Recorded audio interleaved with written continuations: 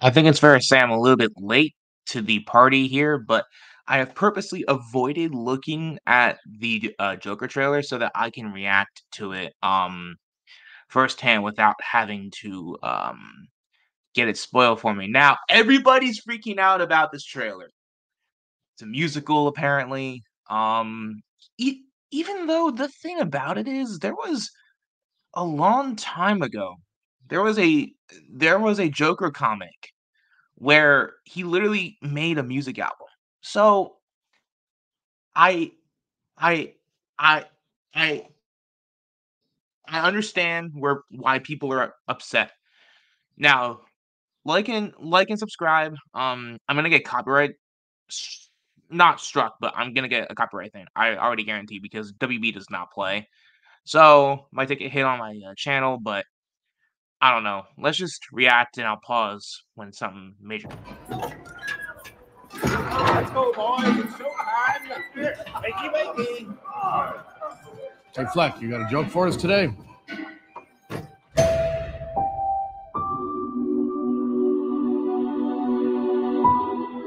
Ah, there's Lady uh, Gaga. All right. We use music to make us whole, to balance the fractures within ourselves. Also, sorry, just like one thing for for everybody who wants Joaquin Phoenix's Joker to be a part of the Battinson verse, he's too old.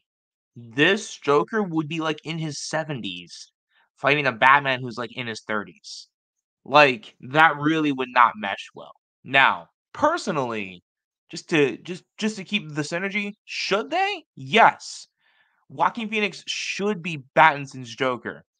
But they didn't know that Battinson was going to be their Batman when they started making the first movie. They knew by the time that the movie came out, but they couldn't but they but they they couldn't change anything.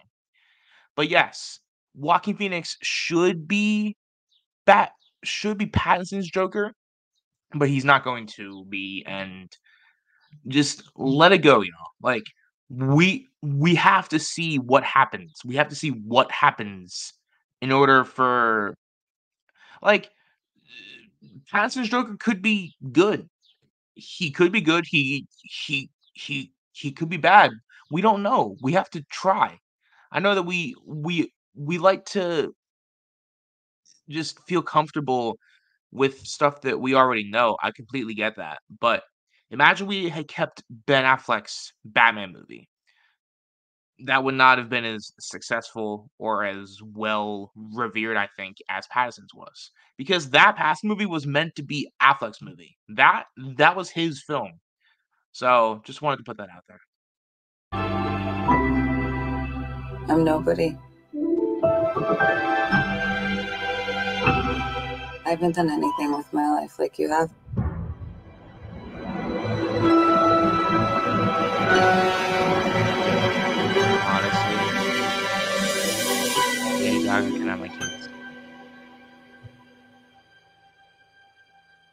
Let's get out of here.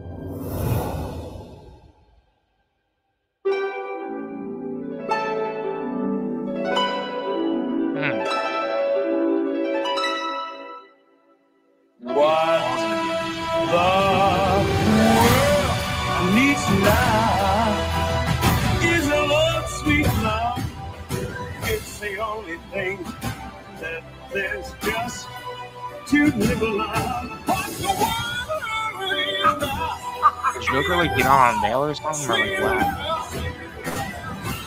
Tell us, what's changed? Are there? I'll tell you what's changed. I'm not alone anymore. Huh. That's what we should Okay be then. talking about.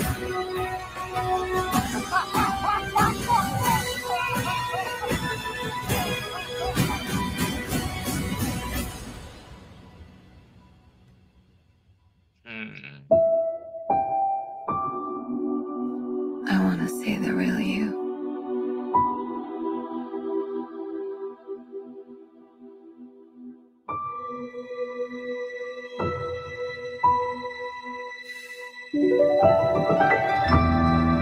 Uh, hmm. I don't know. I don't know. See, here's the thing, okay? My my biggest issue with the first movie was that you should not humanize Joker. Joker is not a person that should be humanized. He's a monster who murders innocent people. There the killing joke tried to humanize him, but that was a one-off story, okay? In the in the main canon, Joker should not be humanized. So for them to go so far as to not only humanize him, but it seems like in this movie, make him the moral compass over Harley Quinn.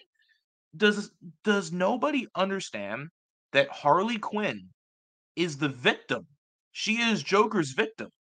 She is literally the way that she is because Joker groomed her, turned her insane, abused her for many years, forced her to have several miscarriages, literally tried to kill her multiple times.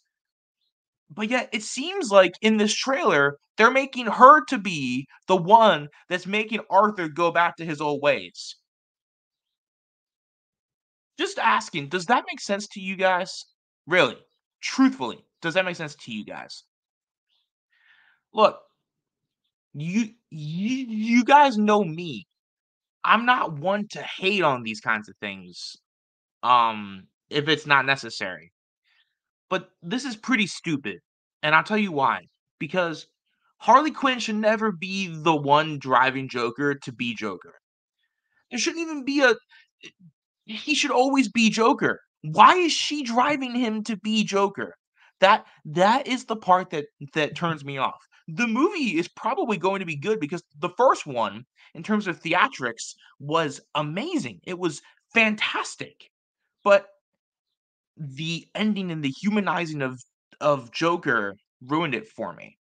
In this one, it seems like Harley Quinn is driving Joker to be Joker, and I don't like that. I do not like that. Now, is this manufactured outrage? It could be. It could be.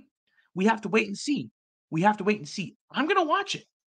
And we have to wait and see what happens. Apparently, it's three hours. So, I say all that to say, what do you guys think? Do you think that this is going to be good? Do you agree with me that Harley Quinn is driving Joker? Or do you not? Let me know. Be honest with me. I'll talk to you guys.